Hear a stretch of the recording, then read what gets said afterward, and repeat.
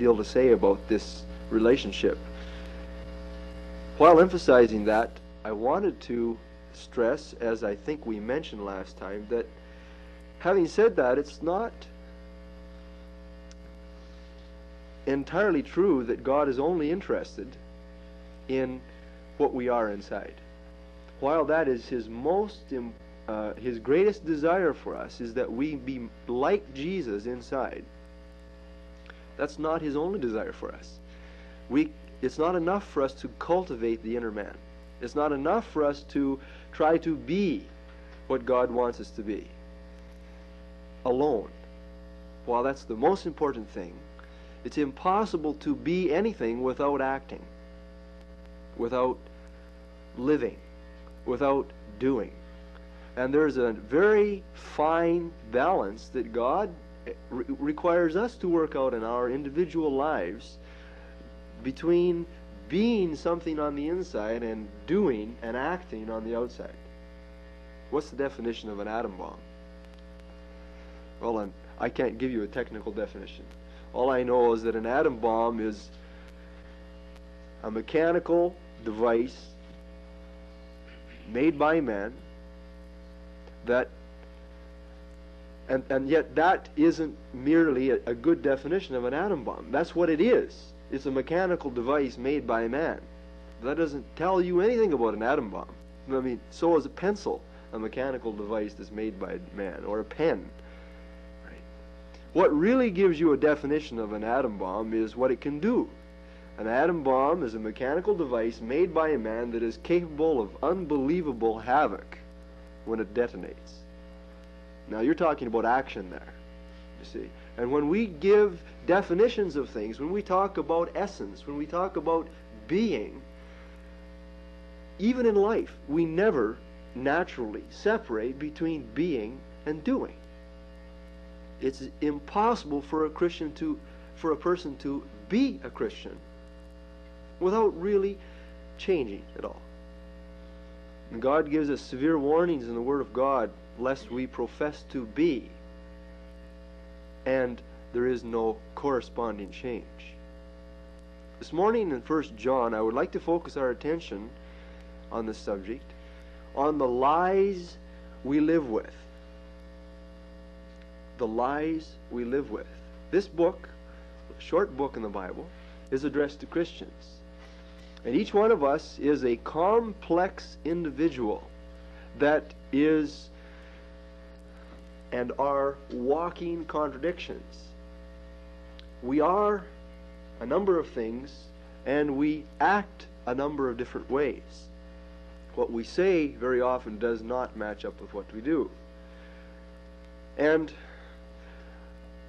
I would like to focus our attention on four characteristics that I suppose each one of us have failed in at one time or other or are now struggling with. And it all has to do with this fundamental issue of balancing out being and doing. We must not forget that as we go through this. What we're not talking about is just conforming our outward behavior so that it pleases Steve Clark or the elders of the church or or to our norm, our social norm as Christians of uh, what uh, what is and what is not acceptable behavior. That is not what we're talking about. We're talking about actions and and lifestyle this morning and specific issues of activity that we must question whether or not are being balanced out with what we really are inside. Every one of us goes through each day giving impressions of ourselves to other people. When we get up in the morning, we many of us don't really worry about the impression that we give to the person we live with because they know us too well. We can't put anything over on them, and so we go walking around the house in our, you know, in what we would die being. It wouldn't. It would kill us to be seen in public, but uh, we walk around showing what we're really like to the people we're closest to. But you know, as soon as somebody comes to the door, we go into a dither, you know, to try to change uh, the impression, right? Or somebody, uh, you know, you're in the midst of an argument and the telephone rings and you're you, you know, somebody that you respect is on the line. Oh, hello, how are you? You know, we're fine. You know. Um, in a large measure, this is nothing but profession. This is what we are professing to be. We're giving an impression. We are saying, This is how I am. I am this way. I am such and such a person. And this is profession. And we say this in a number of different ways, from just the nuances of, of unspoken behavior to the actual words we say, to the way we talk about other people, to the way we refer to ourselves. And just a multitude of different ways we say, we make professions. But how about our real lives? How about the 99% of the time? when other people aren't necessarily watching. When when we are what we are and we do what we do and we don't think anybody else is watching us. And we think what we think. See. Um, even thoughts in, in, in, in, a large measure are deeds. You know, God's going to judge us for those things that we've thought. And um, we have this struggle like uh, as well demonstrated by the little kid uh, was told by his daddy to do something, and and uh, he didn't want to do it. He argued with his daddy, and his daddy gave him a licking.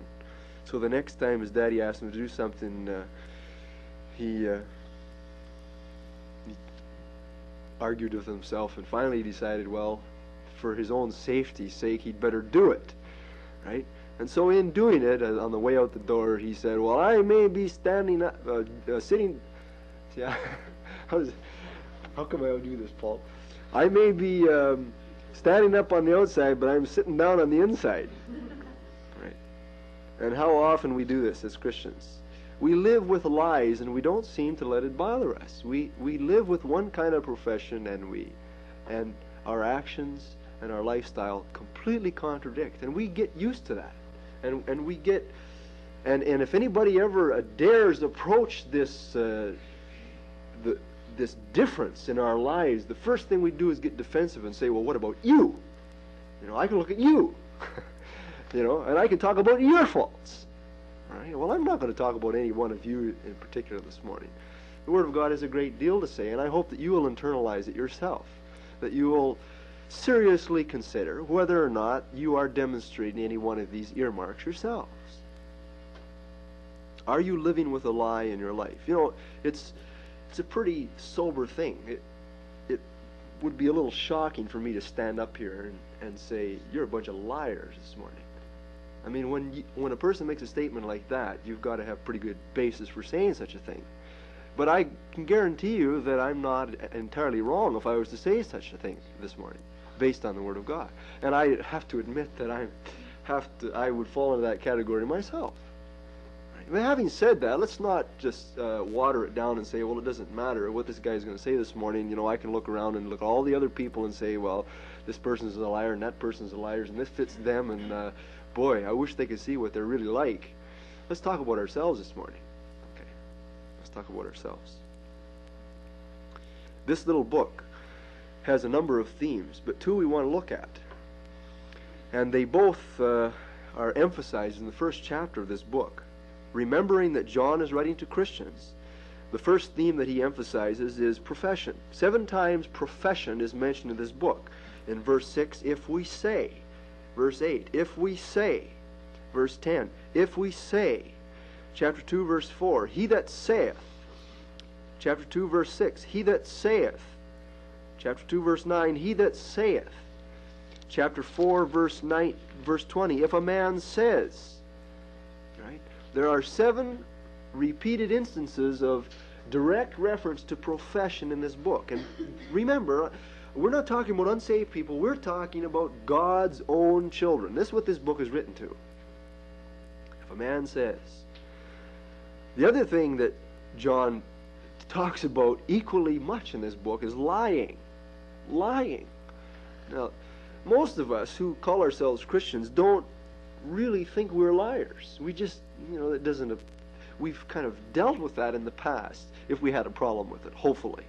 And and we don't consider ourselves to be liars, but taking the standards of God's word and what it says here, there's some very sobering things to consider. Seven times in this book, John talks about liars or lying. And four of these instances, in both cases, he weds the two together. Four instances, he connects profession to lying. And the four instances are in verse, and we're going to look at these in turn this morning. 1 John chapter 1 verse 6 if we say that we have fellowship with him and walk in darkness we lie and do not the truth. In chapter 1 verse 10 if we say that we have not sinned we make him a liar. That's God. We make God a liar and his word is not in us chapter 2 verse 4 he that saith I know him and keepeth not his commandments is a liar, and the truth is not in him. And over in chapter 4, verse 20, if a man says, I love God, and hates his brother, he is a liar. For he that loveth not his brother whom he hath seen, how can he love God whom he hath not seen? I want to go back over these four familiar passages and look at the characteristics or the earmarks of a liar. Or we could look at, the, call them lies that we live with. And Christians live with these things. And that's why I believe that it's in God's Word. That's why this book was written in part. To show us what's wrong with us. And to show us that we're not just so hot shot good to begin with. You know, we're still sinners and we've got a lot of working to do in our lives. And and we can never get to the point where we can say um, that somebody else's problems are an excuse for ours, or that, well, we've arrived. You see, we've got to be careful. So let's go back over these. First John chapter 1 verse 6. The first year mark of a liar is that his lifestyle contradicts his profession of fellowship with God. The first instance Paul that John speaks of this, he says, if we say, and it's in the plural, uh, the common problem here. If we say that we have fellowship with Him, if we say that we have fellowship with Him, what kind of a profession is this? What if? What is fellowship? Let's think about that for a moment. What is fellowship? Well, when I think of fellowship, I think of sharing. I, I think of being on intimate terms with another person. I think of knowing a person well, being able to communicate, considering that person my friend and that person considering me his or her friend. Fellowship. Uh, nothing uh, that prevents uh, closeness. Nothing blocking that kind of a relationship. Now, every one of us in this in this room this morning, I hope, is a Christian. And if you were to take a poll of the average Christian in the average church on in the average Sunday morning and say, "Are you in fellowship with God?" Do you have, do you think that you're walking in fellowship with God? I would say most of us would say yes. How much sin does it take to break fellowship with God? How big of a sin does it take to break fellowship with God? How open a sin does it take to break fellowship with God? How continuous a sin does it take to break fellowship with God? When you begin to answer those questions, it begins to be much clearer that most of us aren't in fellowship with God most of the time. If we say in the present tense we have continual fellowship with Him, but we walk in darkness, we lie. It's one thing to profess to be on intimate terms with God, but continually walking in darkness.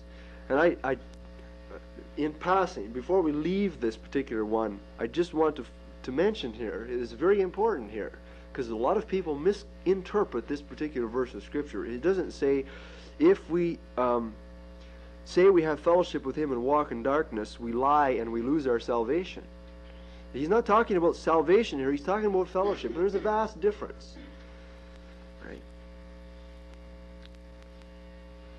Um, growing up in our family, I am a son. I have been a son. I continue to be a son. And I have never, ever done anything yet that caused me not to be a son.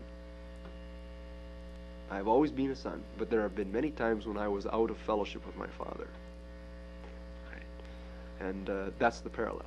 Okay? John is not talking about salvation he's talking about fellowship. If we, if we say that we have an intimate relationship with the Lord, um, that things are going well, but we're walking in darkness. If we're walking about in darkness, if we are sinning and we have a very light view of our sin, if we if if we are oblivious to what we're doing wrong, we're liars. We're liars. We do not the truth.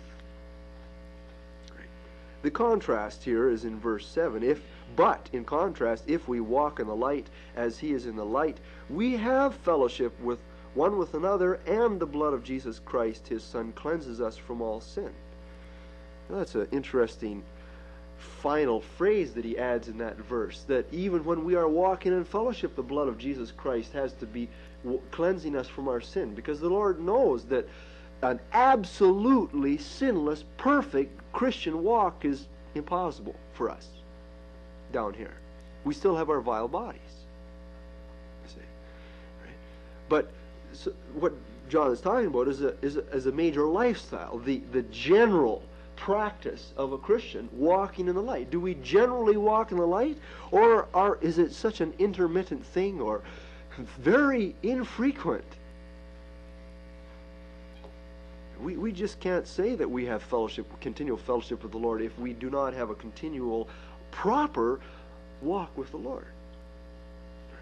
And, and of course, the one thing that that you know best in your life or things that is preventing fellowship we call habits. I'm not going to make a list of them this morning. You know what your habits are. I know what mine are. Could be anything from visible things to invisible things in our lives. But habits happen to be things that we continually practice.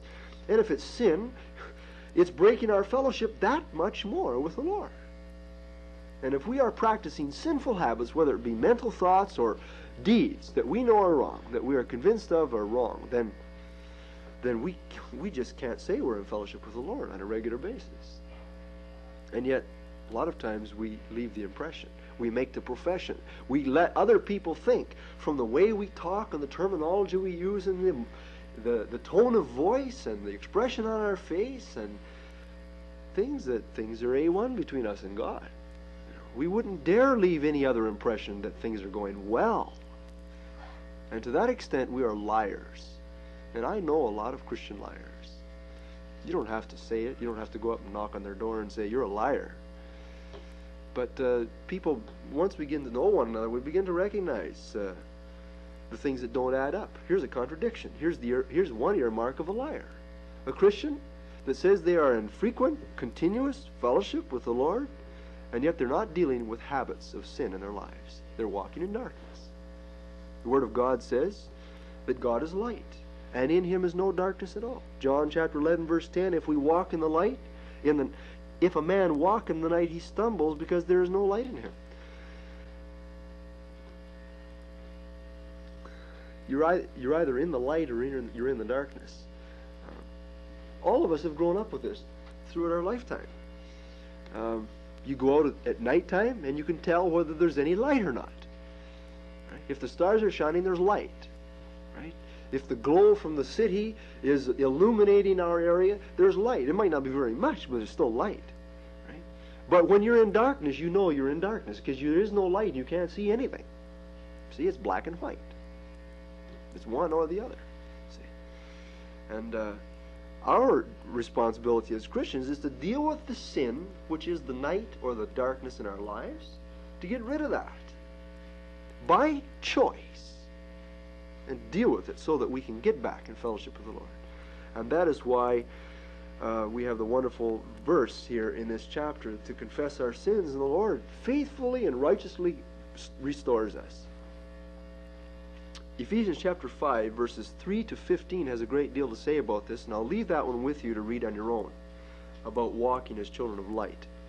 So one of the earmarks of being a liar is having a lifestyle that contradicts the impression or the profession that we make or give about being in a walk with the Lord is pleasing. Now just skip down a couple of verses and look at the last three verses of the chapter. John gives us another test, another description, another earmark of being a liar. And that is that it's very possible for a Christian's profession to reveal a callous insensitivity to our own sinfulness. Verse 8 If we say that we have no sin, we deceive ourselves and the truth is not in us. Skipping verse 9 for the moment. Verse 10 If we say that we have not sinned, we make him a liar and his word is not in us. These two examples are somewhat different, but they're closely related, and so we'll join them for our, for our observations. There's really two kinds of profession here. I haven't met too many people of either one, but I know what happens, even on a little scale, because uh, it can happen for a few hours in our lives, or a few days, or a few weeks. Uh, we may not ever express it publicly to anybody else, but to ourselves, we're, we're saying, I'm not wrong, I'm right. Right? Or, nothing wrong with me. See? Or we're unwilling to say, well, maybe I am wrong. We're unwilling to really search out what the Word of God says about our actions to see if they are sin, just in case we might discover that it is sin and we've been wrong all along. Okay, there's two different cases here. First of all, is the present tense. If a person says that he has no sin, and this is the present tense, I haven't got any sin. Have you ever done that? Have you ever met anybody? Infrequently in our circles of fellowship, we don't we meet people like this. Occasionally, I have met a couple of people that really believed that they had no sin. They had finally attained. They finally did uh, gained victory over their sinful nature so that they, were, they, they attained absolute sinless ultimate sanctification. That they had just achieved. They were walking perfect now. Now, none of us really goes to that extreme, I don't think. But as I mentioned, it's very easy for us to convince ourselves for a short period of time that something we're doing that maybe we've never really checked ourselves out right, is sin. And we're not willing to say it is and and uh, and and that and we're unwilling to say, well, I, it's wrong. If we say that we do not have sin, we deceive ourselves. We lead ourselves down the path. That's literally what it means. We lead ourselves astray, and the truth is not in us. You notice that frequently, in talking about these tests or the earmarks of being spiritual liars, John brings in the thing that makes the difference the answer, the solution, and that is the truth. This here, this standard, this book, this revelation of God is clearly the one and the only way to for us to identify our problems and to deal with it. The truth. The Word of God is like a light. It claims to be a lamp to our feet and a feet and a light to our path, and it shows us the way. It reproves us, it corrects us, it instructs us in the way to go and that's why it's profitable. And so the first profession that a Christian can make is is that he has uh, there's, there's nothing wrong with him, when in fact there probably is. The second one in verse 10, if we say that we have not sinned, and you notice the tense changes. The verb changes. It's not the same. It's not talking about the present. It's in the past. If we say that we haven't sinned, we make God a liar because God says we have. For all have sinned Romans 3.23, and come short of the glory of God. Romans 3, 9, and 10, Paul says, We have before proved, both Jews and Greeks, that they are all under sin. There is none righteous, no, not one. That's, those are God's words. God says that there is not a just man upon the earth that doeth good and sinneth not. Doesn't matter if, if you're just the average Christian or a spiritual leader, we've all done this. We're all sinners. We have, we have made mistakes. If we say that we have not sinned, if we've not done anything wrong, we make God a liar because he said we have. It's that simple. The problem is, is that every one of us is finite, fallible creatures. We have not yet attained, and we never will down here until God changes our nature. Until He takes what is wrong with us out of us and gives us a new body and a new mind. See, and He's going to do that someday, and I'm looking forward to that because I get awful tired of living with this vile creature that lives inside of me sometimes. In fact, that's the way it's described in Philippians chapter 3 verse 21.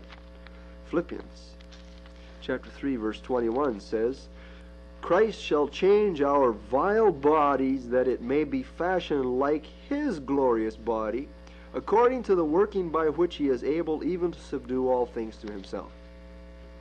Right? So God says we have sinned. God says our bodies are desperately wicked, our hearts are desperately deceitful, and we can't even know the, the depths of the of of what is wrong with us. We're so easily self-deceived.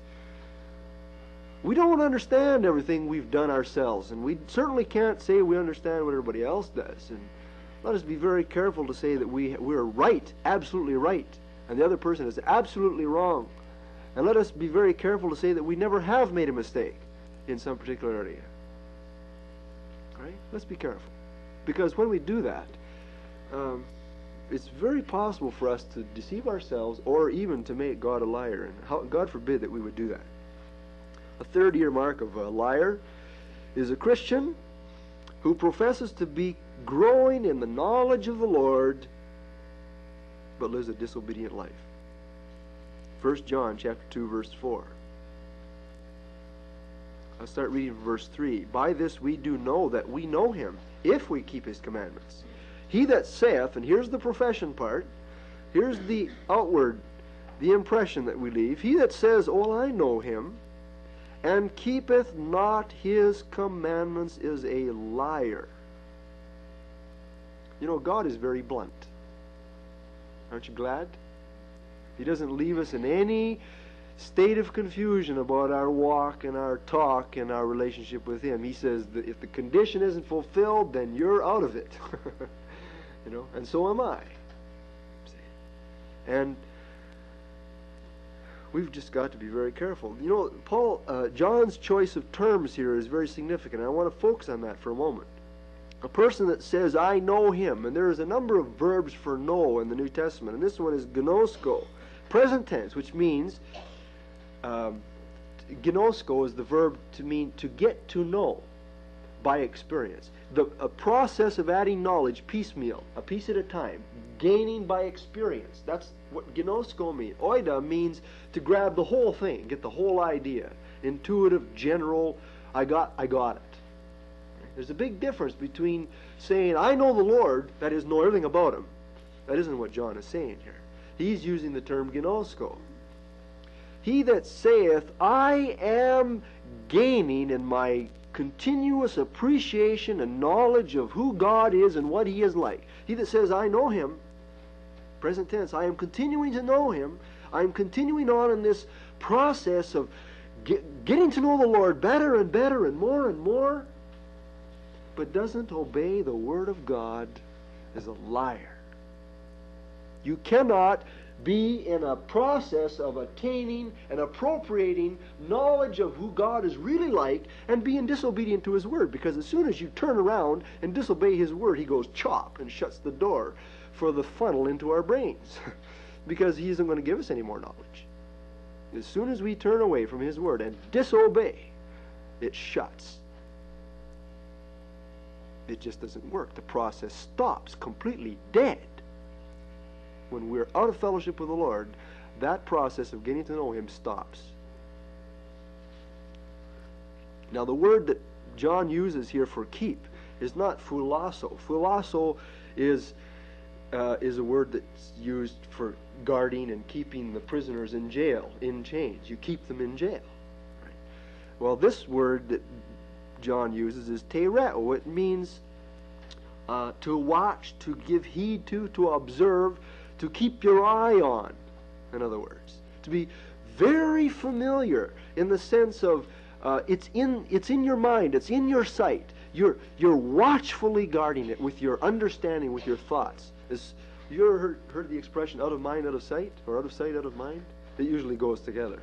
As soon as we are out of sight of of some people, then uh, we don't we forget about what is important to them kids especially. You know, as soon as they're out of sight of mommy and daddy, well, you know, they forget everything that mommy and daddy ever taught them. You'd think, right? Right. And so they they lie and they fight and they cheat and they steal and they and they do everything. But as soon as mommy and daddy comes, oh yeah, I remember. I'm not supposed to do that. Okay, well, this is the idea that John is talking about here. Keeping not God's commandments means letting them fly right out of your thinking. As soon as my thoughts supplant God's thoughts, and they're not the same, by the way. As soon as his thoughts leave my attention, then I am open to, to violating them. And, and, uh, and thereby stopping being arrested in my appropriation of the knowledge of God. That is why Paul said to Timothy in 1 Timothy 6:14, keep this commandment, guard it, keep it in your mind without spot, unrebukable until the appearing of the Lord Jesus Christ. Now this is something that's a struggle. It's not easy to keep thinking about the things that you're supposed to think about, to be continuously mindful of the Word of God and its principles. It's hard to do that. It really is. But as soon as we don't, then we're not growing in the knowledge of the Lord. We can't make that claim. We can't make that profession. And if we do, we're a liar. It's that simple.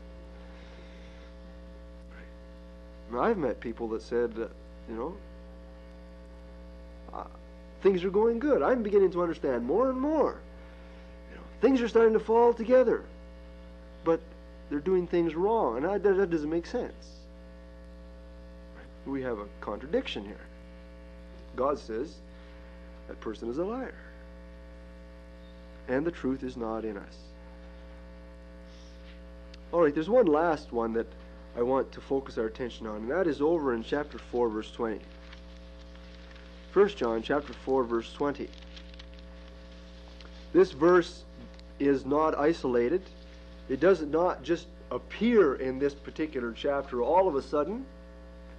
Because in chapter 3 and chapter 4 and on into chapter 5, John has been talking about this subject of loving God and loving the brethren. About 10 times in these two chapters it comes, right from chapter 3, verse 16. By this we perceive the love of God because he laid down his life for us, and we ought to lay down our lives for the brethren. What kind of an attitude does that show you? It, it ought to show you the same kind of attitude that God had. We ought to have. We're undeserving for, of God's great love. There's lots of things that God could have used as excuses not to love us, right? Not to do things for us, not to give us His Son.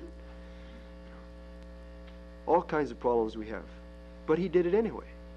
And so that parallel is tied to our responsibility. We ought to lay down our lives for the brethren. That's the kind of attitude that we're talking about when we talk about loving the brethren and loving God.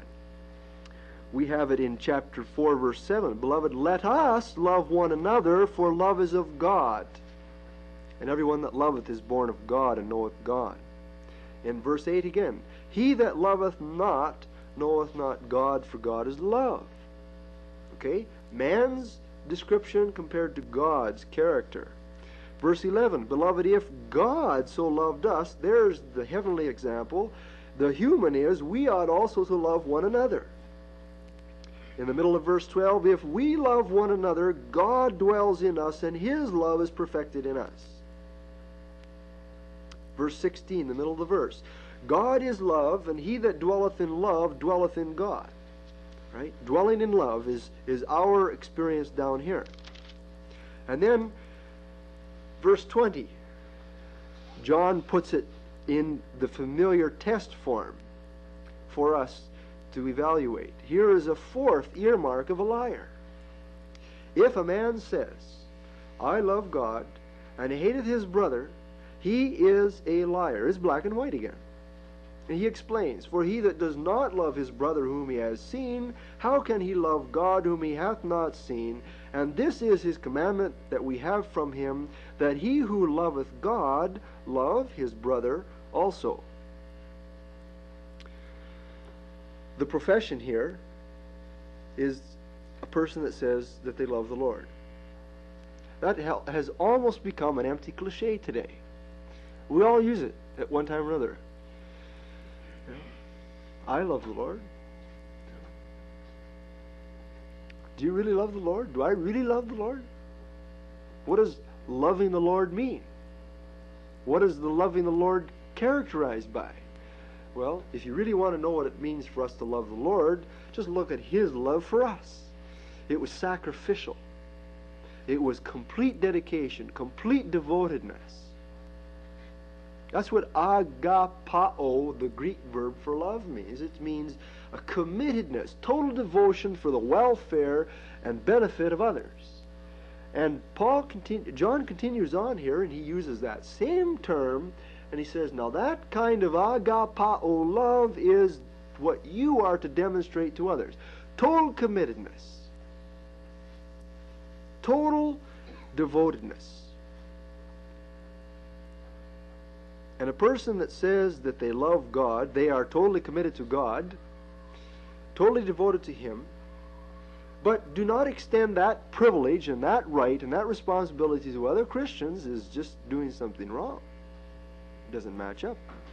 I've got to have the same forbearant attitude towards my brothers as God has toward me. Absolutely important. There's two sides to this question that we must forget. We must not forget. Look at the first two verses of the next chapter. Whosoever believeth that Jesus is the Christ is born of God, and everyone that loveth him that begot loveth him also that is begotten of him. What uh, John is first talking about here is that if we love God, we'll love the brethren. That's one way to put it. If we really love God, we're going to demonstrate that by our attitudes towards every Christian brother, no matter how weak, how sinful, how failing. If we love God, we're going to demonstrate the same attitude that He had toward us to them. Now, turning it around in the next verse, by this we know that we love the children of God when we love God and keep His commandments. This is what many people often forget. It's so easy for us to point our finger at others and say, You're not loving me. You're not demonstrating the right attitude. And yet, maybe they are. Maybe we just don't understand what they're doing. This verse says that if we love the brethren, we will love God. And how do we love God? By keeping His commandments. You can't expect another person to love you and to do something wrong. Just because you might get offended if they do something right. And there's two sides. If we love the brethren, we'll love the Lord. And if we love God, we'll love the brethren. And there's different kinds of responsibility attached to each one of those. You see? And a person can't say that he loves the Lord and is unwilling to love his brethren. And that means not only an attitude, but the willingness to shoulder the responsibility to correct, to show the truth, to show the way, to, to lead in righteousness, keeping the commandments making sure other people do too. You remember, this, we, this takes us right back to John chapter 14, verse 21. He that hath my commandments, you got to know them, and keep them, you got to obey them. He it is that loveth me. You see, scriptures do not say that love is merely a proper attitude towards others.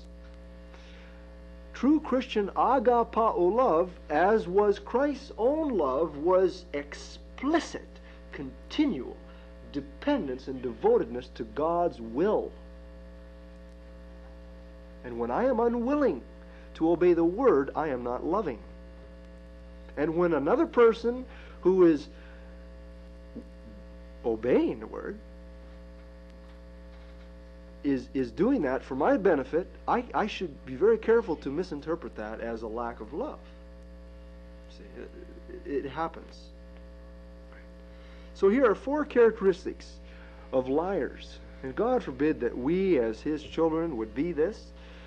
Uh, if we find ourselves lacking in any of these areas, may we decide this morning, here and now, in the quietness of our own hearts, to deal with this, to work it a little harder. Right? Am I contradicting my profession by habitual sin? Am I contradicting my profession by uh, by insensitivity to my own sin? Am I contradicting my profession of knowing the Lord by disobeying His word? Am I contradicting my profession by a wrong attitude or disobedience to the Word of God. These are things that are worth meditating on, especially when we remember that what Jesus said about the devil, John chapter 8, verse 44. He is the father of lies. He is a liar, and he is the father of it. And uh, we're not demonstrating godliness when we're lying. We're demonstrating something else. And uh, we have just got to deal with these kinds of things. Let's pray. Father, we thank you that you are more concerned with our character, with what we are like inside, our thought patterns, our values, our outlook. We thank you, Father, that you are yourself infinitely perfect in every respect which you require of us. And we, we pray, Father, that you will impress upon us a twofold motivation in these coming days, and that is, first of all, to to make sure we do things for the right reasons, that we are not trying to impress people uh, as the Pharisees of old did with deeds, without any concern for that which is really true, the, the inner spiritual life. But secondly, that you would help us to uh, to work at, at our actions as well, that and bring them in conformity to the profession of what we say we are inside. And uh, and Father, may we each one be drawn closer to you, and we know that in the process we'll be drawn closer to one another. And we need this fellowship, Lord, and we covet it. We pray that you would strengthen us and encourage us, each one, to work harder at these things in Jesus' name.